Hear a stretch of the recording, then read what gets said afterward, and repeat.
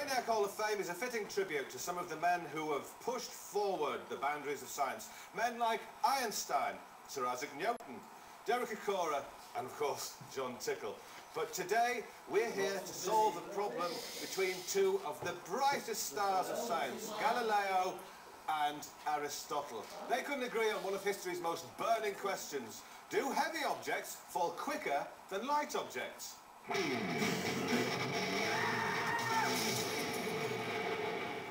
This is a pillow, and this is a cooker. Both household objects, but both used for very different purposes, as I know from bitter experience. The cooker weighs 400 times more than the pillow. Jon, what do you think is going to happen? Well, Aristotle will say that the cooker is going to fall 400 times as fast as the pillow, whereas Galileo will maintain that they'll hit the ground at the same time. I'm with Galileo. The mass of the object has absolutely nothing to do with the speed with which it will fall. I think the cooker's going to land first, and the pillow will float down gently. Let's no, find out. Come on, let's go and find out. this is science. They're going to fall exactly the same way. Myth has it that in Renaissance Italy, Galileo proved that light and heavy objects fall at the same speed by dropping two cannonballs of different weights from the Leaning Tower of Pisa. Meanwhile, in ancient Greece, Aristotle thought light and heavy objects fall at very different speeds. But being a typical philosopher, he never bothered testing anything in the real world. So it falls to us to winch a cooker and a pillow up to a height of 60 metres and finally answer the question. Over there, We'll see who's right now, Vic. I think you'll find that it's me. Yeah. Goggles on. Right, yeah. Let it drop. Oh, there we go, there we go. Oh, that's taking I ages. think I won that round there. The cooker goes off like a hare, whilst the tortoise-like pillow follows leisurely in its wake. Only a fool would say that Aristotle wasn't completely right. Aristotle wasn't completely right, was he? Because if he was right, this would have fallen 400 times as fast as the pillow. Now, clearly that wasn't the case. Which landed first, Jon? Okay, Vic, the cooker landed first. Thank you. So much for the cooker and the pillow. But let's give Galileo the benefit of the doubt and drop two balls of differing weights from 56 metres, the same height as the Leaning Tower of Pisa.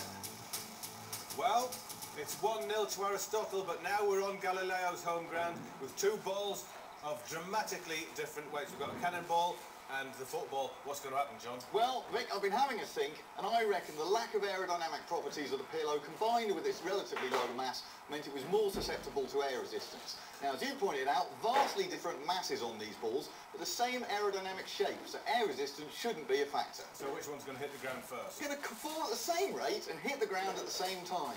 I think you'll find it's the cannonball. No, no, no, Let's no. I'm going to prove you wrong. For the first time in 400 years, two balls of different weight dropped from the height of the world's most famous Wonky Bell Tower. I have absolute faith in our friend Galileo. What, an iron cannonball? Yeah, and a brass cannonball. But that's a football filled with air. It doesn't matter, they're the same shape, so they're going to hit the ground at exactly the same time, I reckon. Let it drop!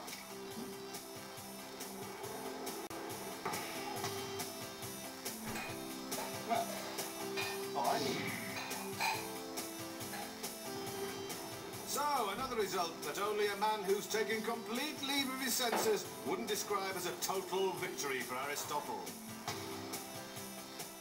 Which landed first? Well, technically the cannonball. Got a theory. Technically, it did.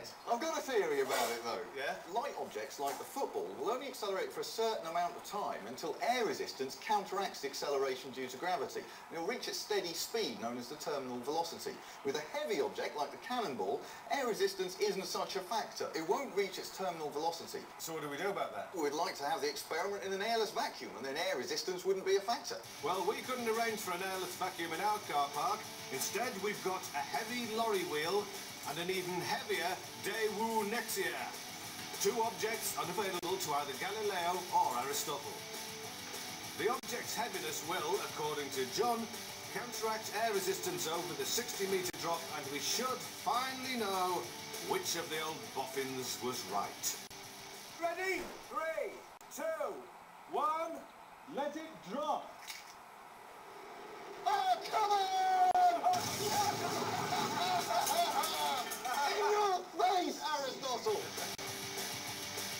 Take air resistance out of the equation and you get neck and neck free fall of both objects. You can clearly see the wheel and the much heavier car falling at the same rate.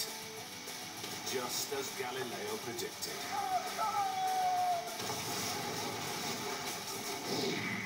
I knew that was going to happen. You know what? You know what it was? No. Aristotle wasn't a proper scientist. He was a philosopher. Yeah. Galileo knew that you had to do experiments. Aristotle just thought you could know about the world by thinking about it. Jon, yak, yak, yak. Conclusive proof that Galileo was correct. Absolutely, yes. Will it fizzle or